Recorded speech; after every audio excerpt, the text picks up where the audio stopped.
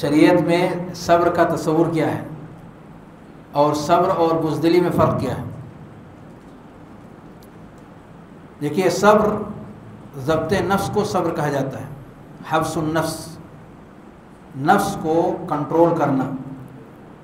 नफ्स को कंट्रोल करना किन चीज़ों पर? किन चीज़ों से? बुराइयों से, नेकियों पर, रब के फैसले पर। बुराइयों से नफ्स को कंट्रोल में करना है, बुराइयों से बचाना है। ये सब्र है नेकियों पर अपने नफ्स को कायम करना है, ये सब्र है नेकियाँ करिए एक इबादत है सब। यानी हम दिल के ना चाहने के बावजूद वज़ू बना लें। हम सोने जा रहे हैं, दिल नहीं चाहता कि वज़ू बना करके लेटें, पर वज़ू बना लें, दिल के ना चाहने के बावजूद। इतात पर सब्र करना। नेकी पर सब्र करना। यानी उस काम को दिल नहीं चाहता, फिर भी उस काम को हम करते हैं। आहिस्ता आहिस्ता वो दिल उसका आदि बन जाएगा और फिर वो चाहने लगेगा। और अल्लाह रब्बुल आलमीन के फ़ैसले पर दिल को क्या करना? साबित करना। उस पर राज़ी कर लेना। उसको तस्लीम कर लेना।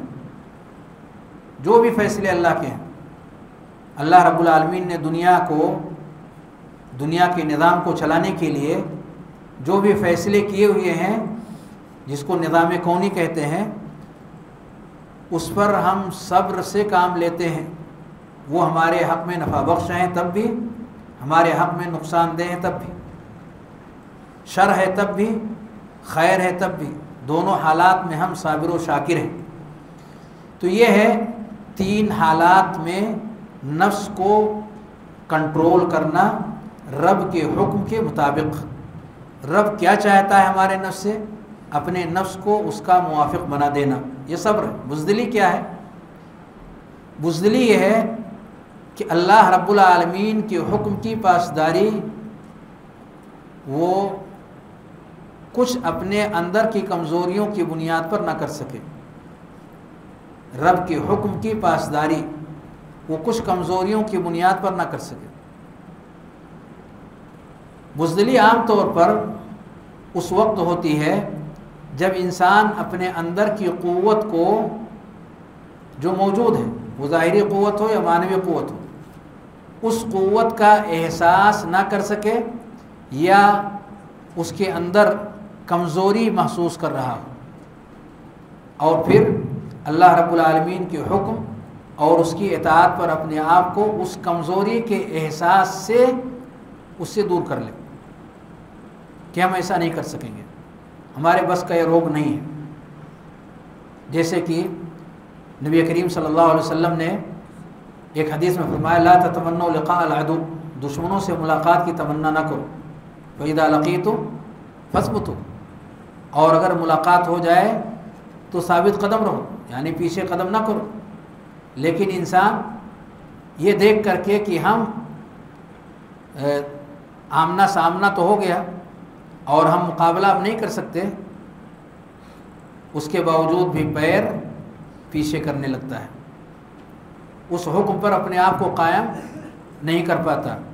उसके जहन में तरह तरह के वसवसे आते हैं कि हम तो कुछ नहीं कर सकते। हमारे कुछ करने से क्या होने वाला? वगैरह वगैरह, न मालूम क्या चीज़ें उसके जहन में चलती हैं और फिर वो बुजदली का मुजाहरा कर बैठ जबकि सवाद कदमी की वहाँ ज़रूरत थी। तो सब्र एक अजीम इबादत और उस इबादत के रास्ते में कुछ वसवसे हैं जो